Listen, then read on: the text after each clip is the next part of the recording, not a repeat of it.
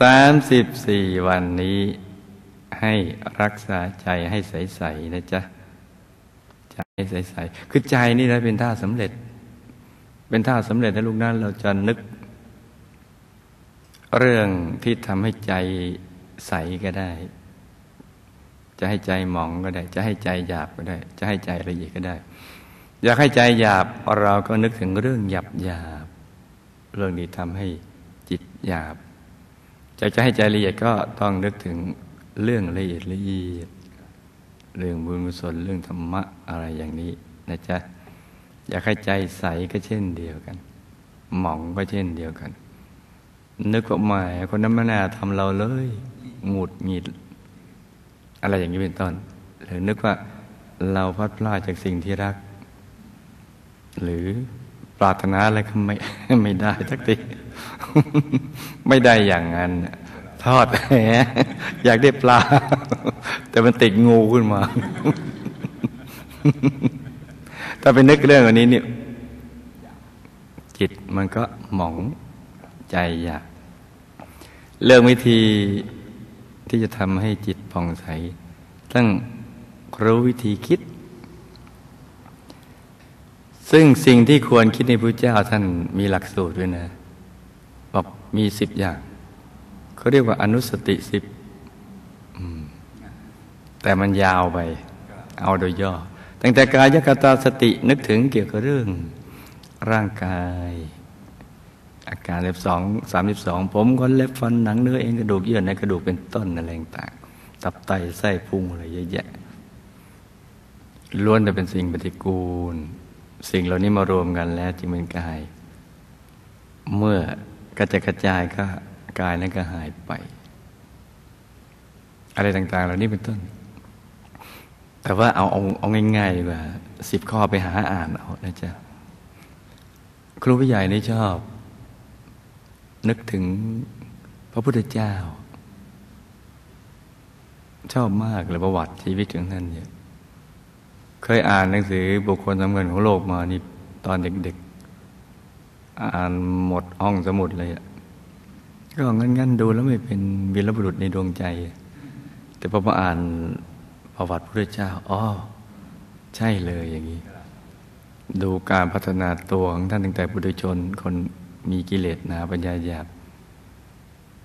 พัฒนาตัวขึ้นมา แล้วมีมโนปณิธานที่สูงส่ง แล้วก็ความเพียรนี่ไม่ลดละเลยทำต่อเนื่องที่เกิดมาในโลกมนุษย์นี้ ไม่ว่าจะเป็นอะไรก็ตาม ก็จะแต่สร้างแต่บุญกุศล สั่งสมบุญบารมีอย่างนี้เรื่อยไปเลย จนกระทั่งบารมีเต็มเปี่ยมได้ตัดสรุปเป็นพระสัมมาสัมพุทธเจ้า แล้วก็ชอบเนี่ยชอบนึกอย่างเงี้ย แล้วก็นึกถึงรูปสมบัติท่านโอ้รูปกายท่าน ลักษณะมหาบุรุษ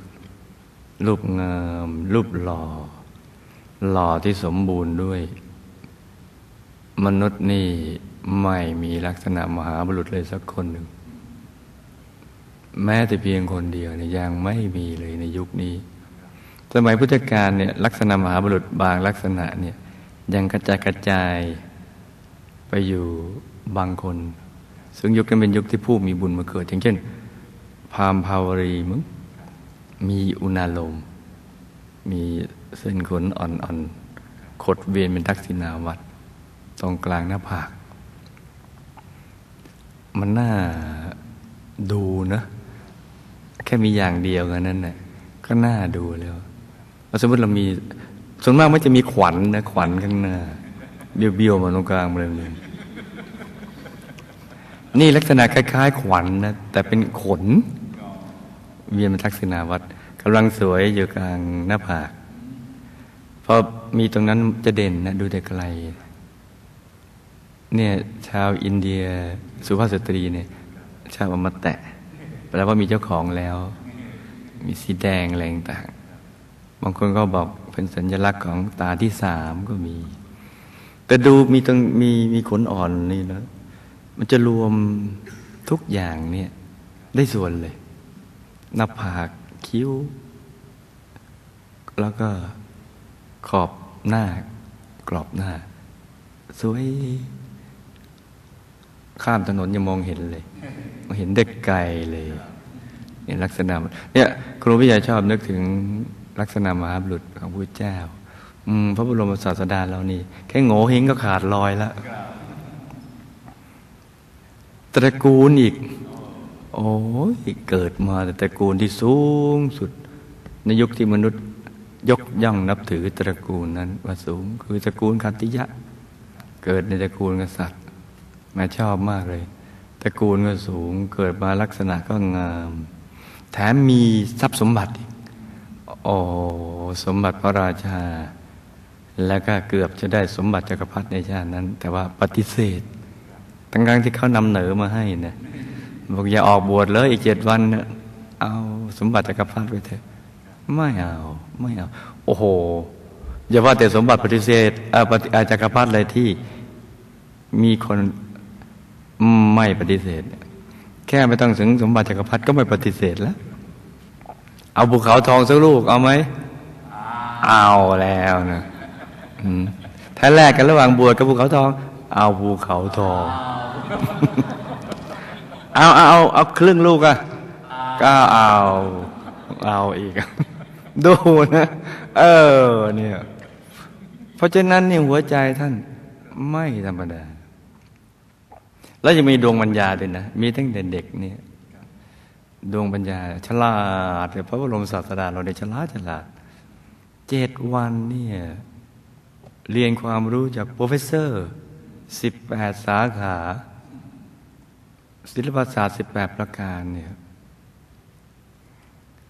เอาคัดครูที่เก่งที่สุดในแผ่นดินเนี่ย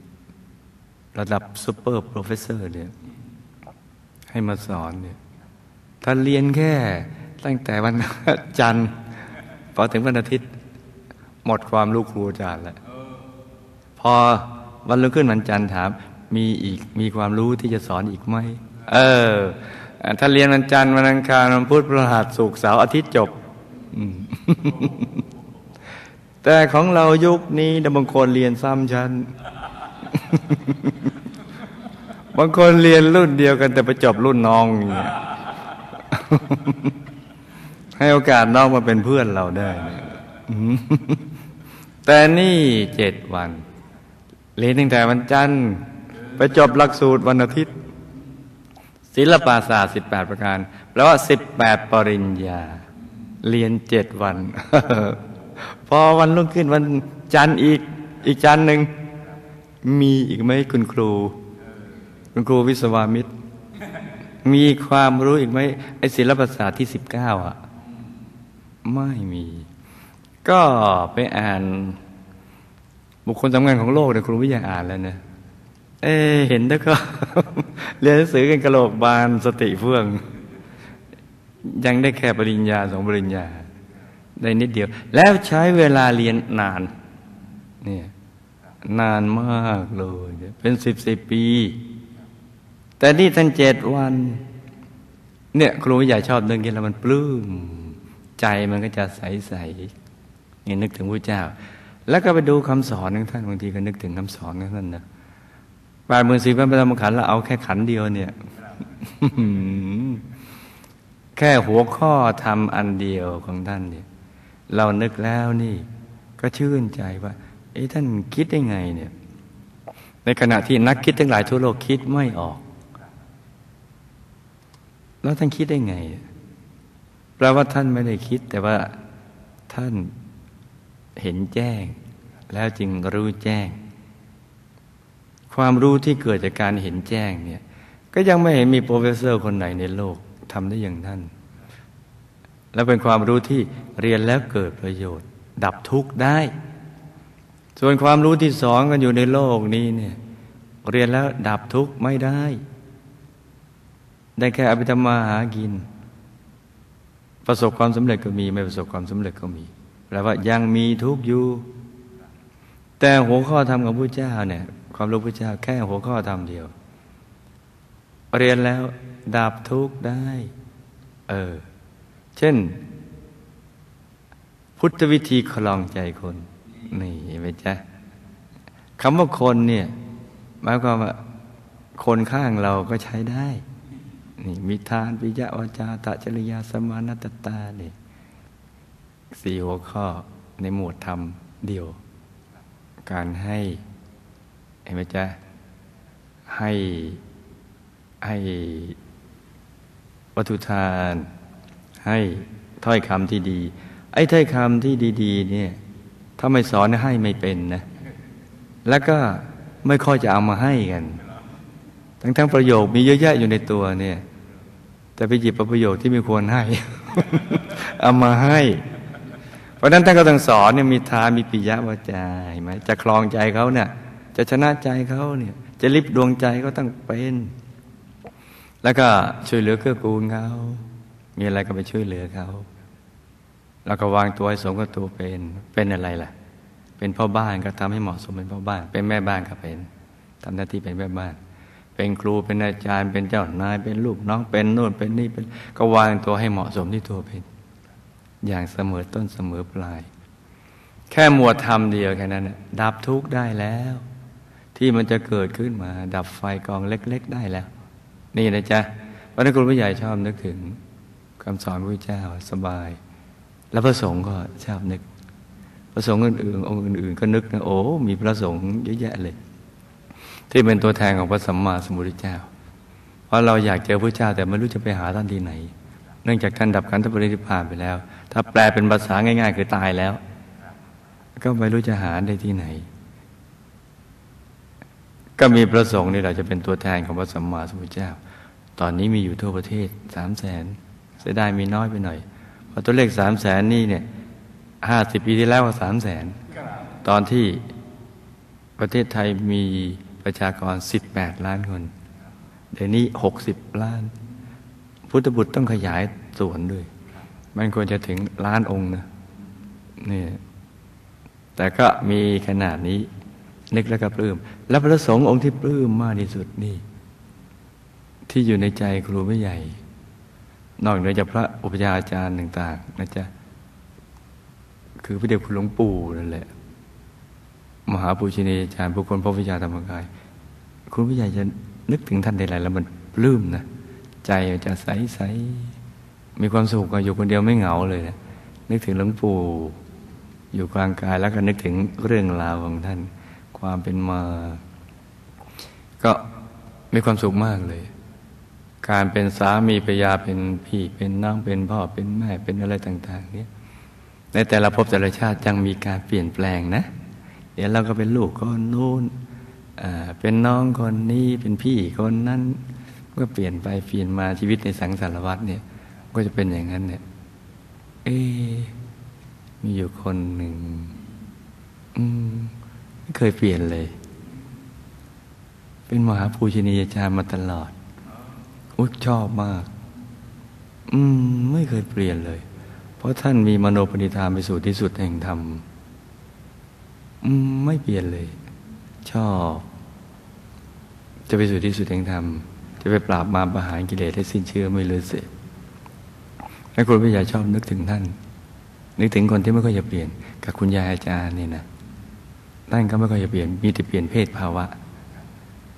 เป็นผู้ชายบางเป็นผู้หญิง แต่เป็นผู้ชายเป็นส่วนใหญ่ ผู้หญิงส่วนน้อย แต่จะเป็นหญิงเป็นชาย เป็นนักบวชทุกชาติแต่เป็นชายก็เป็นพระเถระมหาเถระ แต่เป็นหญิงก็มหาบสิกาไม่ชีเป็นนักบวชของท่านเนี่ย ชอบชอบนึกอย่างนี้ แล้วก็ไม่ค่อยจะเปลี่ยนเท่าไหร่ นี่ แต่ของพระเดชพระหลวงปู่เนี่ยนึก นี่ท่านไม่เปลี่ยนเลยเนะี่ยตั้งแต่เป็นท่านอย่างนี้มาตลอด ชอบนึกถึงคนที่ไม่ค่อยเปลี่ยนเนี่ยชอบมากเลย เพราะนั้นนึกแล้วปลื้มชื่นอกชื่นใจ ทุกวันนี้เราจะสามสิบสี่วันให้ไปนึก พระพุทธพระธรรมประสงค์หรือบุญกุศลที่เราทำไว้ ใจเราจะได้ใสใสเหมาะสมที่จะเป็นปัจจนะ รองรับบุญใหญ่ที่จะเกิดขึ้น อย่างน้อยเรานึกถึงบุญล่าสุดก่อนบุญพับทิชชู่ปลื้มเรานึกออกเห็นไหมจ๊ะแล้วบุญอะไรแต่อะไรเรานึกย้อนหลังกับบุญพรุ่งนี้แค่นี้ใจก็ใสแล้ว นี่แล้วเออ เราจะได้ถวายมหาสังฆทานสองหมื่นวัดซึ่งไม่ใช่ง่ายเลยสี่ห้าหมื่นองค์ เดี๋ยวเรามาดูสปอตวันคุ้มครองโลกกันจ้า